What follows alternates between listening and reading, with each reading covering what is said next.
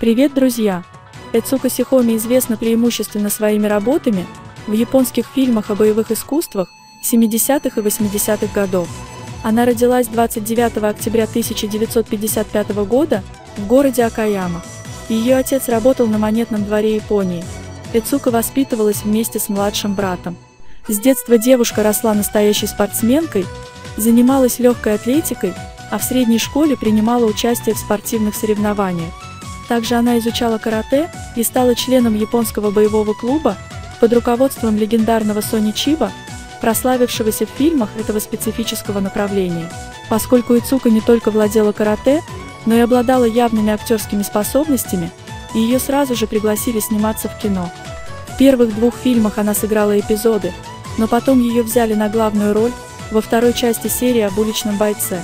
Героиня фильма пытается освободить брата похищенного наркомафией. Этот фильм привезли в Москву на фестиваль, где его показали под европейским названием «Леди Карате». Затем Ицука снялась еще в нескольких сиквелах.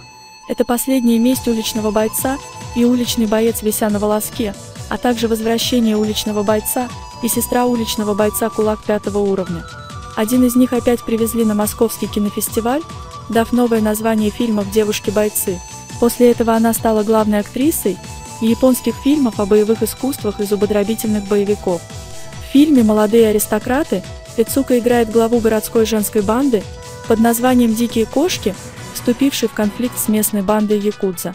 В «Великолепной погоне» она мастер боевых искусств и агент Интерпола, которая практически в одиночку расправляется с бандой контрабандистов, подставившей ее отца.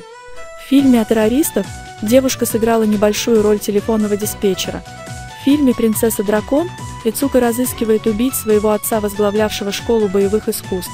В фильме «Ниндзя Сёгуна» девушка играет китаянку, присоединившейся к группе самураев, ищущих золотой рудник. Также Ицука снялась в «Легенде о восьми самураях». В этой истории о восьмерых воинах, которых пытается найти девушка, чтобы отомстить злой королеве за убийство своего рода. Далее девушка исполнила роль монахини и наследницы Якудза в фильме «Второй христианин». 1975 году Пицука начала карьеру певицы, которая продлилась около 10 лет. Позднее она снялась еще в нескольких картинах, а в 1986 году закончила свою актерскую карьеру. Она вышла замуж за коллегу и посвятила себя мужу и детям. На пенсии увлеклась японским традиционным искусством акибаны и снимает красивые фотоальбомы. Она написала последующие книги об аранжировке цветов и неоднократно появлялась на публике, а вырученные средства передает на благотворительность и помогает детям-сиротам. Ставим лайк и подписываемся на канал, чтобы не пропустить следующие видео.